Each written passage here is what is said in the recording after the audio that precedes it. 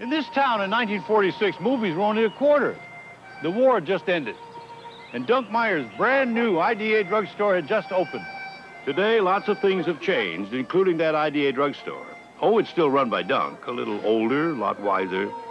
But today's IDA is growing with the times, too. Modern equipment, more efficient systems, and competitive prices. So whenever you see this sign, trust IDA. Your neighborhood drugstore.